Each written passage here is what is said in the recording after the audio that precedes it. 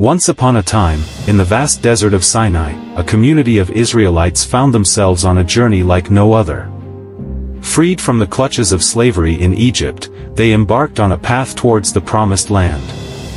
Led by their trusted leader, Moses, they began their arduous trek through the barren wilderness. The journey was filled with countless challenges and tests of faith.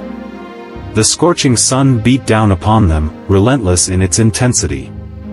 Dust-filled winds whipped at their faces, leaving them with parched lips and weary bodies. But through it all, their determination remained unwavering. As the days turned into weeks and weeks into years, the Israelites faced trials that tested their resilience. Their supplies grew scarce, and hunger gnawed at their bellies. Yet, miraculously, manna rained down from the heavens, providing sustenance for their weary bodies. Water flowed from rocks, quenching their thirst and reminding them of the divine presence that guided their every step. In their wanderings, they encountered various tribes and nations. Some welcomed them with open arms, sharing stories and wisdom. Others saw them as a threat and sought to attack. But the Israelites remained steadfast, trusting in their faith and the promises made to them by their God. Throughout their journey, Moses continued to lead with unwavering strength and compassion. He mediated disputes, offered guidance, and ensured that the laws of their God were upheld. His face shone with a divine radiance, evidence of his close relationship with the Almighty. Forty long years passed, and the generation that had known slavery faded away, making room for a new generation born in freedom. Finally, they arrived at the borders of the Promised Land. Moses stood atop Mount Nebo, his eyes gazing upon the lush valleys and flowing rivers below.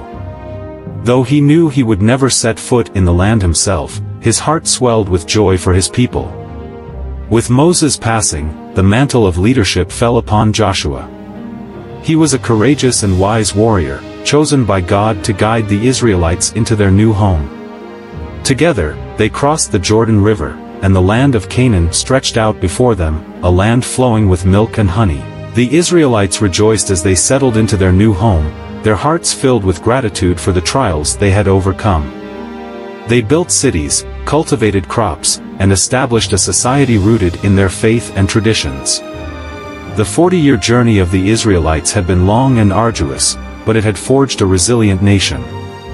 They carried with them the lessons learned in the desert, forever cherishing the freedom they had gained and the unwavering faith that had sustained them. And so, the story of the Israelites wandering in the desert became a testament to their endurance, resilience, and unwavering belief in the promises of their God. It remains an inspiring tale of a people who transformed from slaves to a nation, forever carrying the legacy of their extraordinary journey.